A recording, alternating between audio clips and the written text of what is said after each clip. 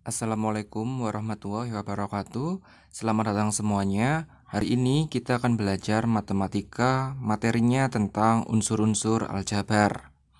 Biar lebih mudah, mari kita langsung ke contohnya. Perhatikan, di sini terdapat empat buah contoh. Kita akan mencari unsur-unsur al aljabar. Apa saja yang termasuk unsur-unsur aljabar? Yang pertama ada suku. Yang kedua ada variabel.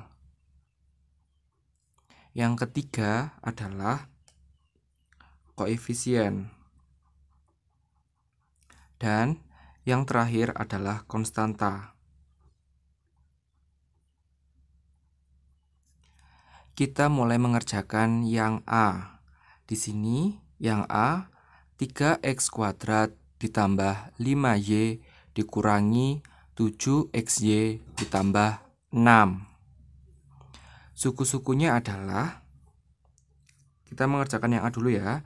Suku-sukunya adalah suku itu adalah bentuk aljabar yang dipisahkan oleh tanda ditambah atau dikurangi.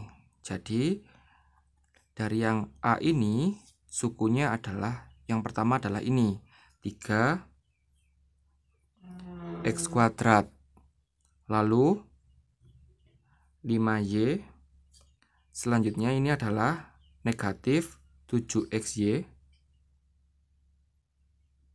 dan 6 mengerti? saya ulangi lagi. Suku aljabar dari bentuk 3x kuadrat ditambah 5y dikurangi 7xy ditambah 6 sukunya adalah 3x kuadrat.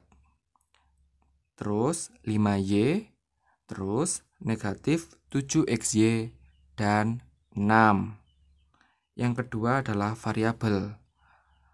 Variabel dari bentuk aljabar yang ini itu apa saja variabelnya?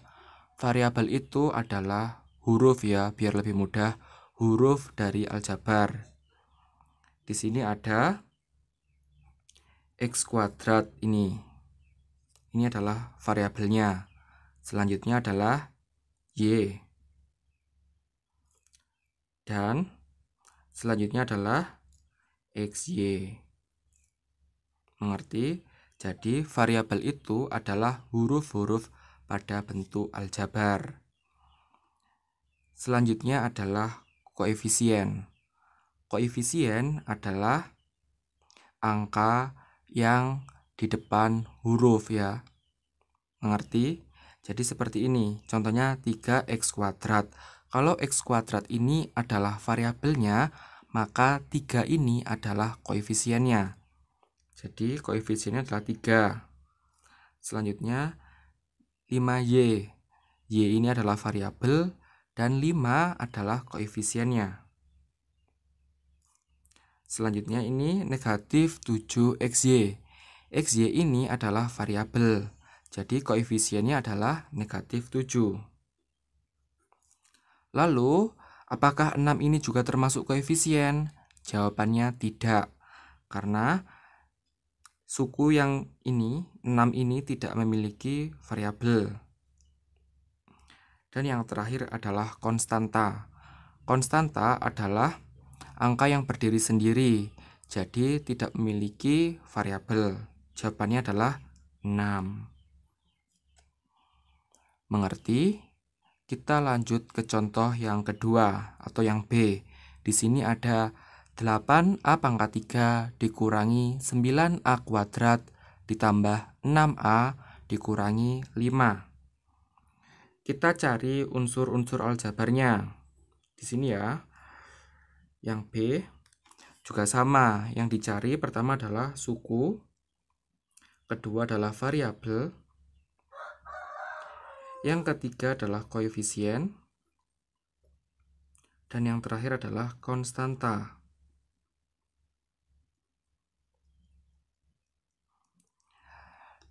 Dalam bentuk ini, suku-sukunya adalah, diingat ya, suku adalah bentuk aljabar yang dipisahkan oleh tanda dikurangi atau tanda dijumlah. Jadi sukunya adalah 8A pangkat 3. Ini. Selanjutnya adalah ini ya, negatif 9A kuadrat. Selanjutnya adalah 6A dan negatif 5. Mengerti? Selanjutnya adalah variabel. Variabel adalah huruf-huruf yang ada pada bentuk aljabar. Yang pertama adalah huruf ini A pangkat 3. Selanjutnya A kuadrat dan yang terakhir adalah A. Kenapa tidak ditulis A saja? Karena variabelnya ini tidak sejenis, berbeda pangkat ya. Di sini pangkat 3, pangkat 2 dan pangkat 1. Jadi kita tulis semuanya dari A pangkat 3, A pangkat 2, dan A pangkat 1. Selanjutnya adalah koefisien. Koefisien adalah angka yang di depannya variabel.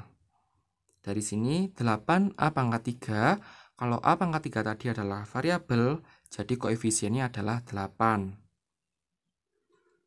Selanjutnya, negatif 9A kuadrat. A kuadrat adalah variabel, jadi koefisiennya adalah negatif 9. Selanjutnya adalah 6A. A adalah variabel, 6 adalah koefisiennya. Dan yang terakhir adalah konstanta. Konstanta adalah angka yang berdiri sendiri, tidak memiliki variabel. Di sini adalah negatif 5. Mengerti? Kita lanjut yang C. Di sini ada 5PQ ditambah 7P dikurangi 9Q ditambah 8. Kita cari unsur-unsur aljabar.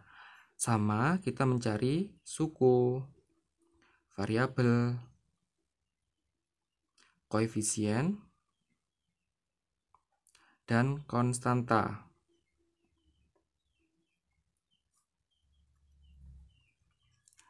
Suku-sukunya adalah yang dipisahkan oleh tanda ditambah dan dikurangi. Jadi yang pertama adalah 5 PG, selanjutnya adalah 7P, selanjutnya di sini ada negatif 9 Q, negatif 9 Q, dan 8. Terus variabelnya adalah, variabel adalah huruf-hurufnya, adalah PQ ini ya PQ selanjutnya P dan Q. Terus kita cari koefisiennya. Koefisien adalah angka yang di depan variabel. Dari 5 PQ kalau PQ ini adalah variabel maka 5 adalah koefisiennya. Selanjutnya 7P P. Adalah variabel 7 nya adalah koefisiennya Selanjutnya adalah negatif 9 Ki. Ki adalah variabel, maka koefisiennya adalah negatif 9. Mengerti? Dan yang terakhir adalah konstanta. Konstanta adalah angka yang berdiri sendiri. Di sini adalah 8. Mengerti? Kita lanjut ke contoh yang terakhir, yaitu yang D. Di sini ada 2M dikurangi 10N dikurangi 13MN ditambah 14. Kita cari bentuk aljabarnya atau unsur-unsur aljabarnya mulai dari suku, variabel, koefisien,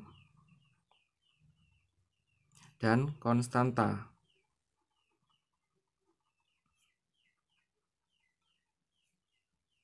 Sukunya adalah 2M. Selanjutnya, negatif 10N. Selanjutnya, 13 MN. Dan yang terakhir adalah 14. Jadi, suku itu dipisahkan oleh tanda dikurangi dan juga dijumlah. Variabel adalah huruf-hurufnya. Di sini ada M, selanjutnya N, dan MN. Selanjutnya, kita cari koefisiennya. Koefisien adalah angka yang di depan variabel. Yang pertama adalah 2M. M ini adalah variabel, 2 adalah koefisiennya. Selanjutnya, di sini ada negatif 10N. N adalah variabel, jadi koefisiennya adalah negatif 10. Selanjutnya adalah negatif 13 MN. MN adalah variabel. Koefisiennya adalah negatif 13. Mengerti? Dan yang terakhir adalah konstanta. Konstanta adalah angka yang berdiri sendiri. Di sini adalah 14. Mengerti? Baik ya, sampai di sini penjelasan tentang unsur-unsur aljabar. Jika mengalami kesulitan atau ada hal yang belum dipahami, dapat bertanya pada kolom komentar. Terima kasih.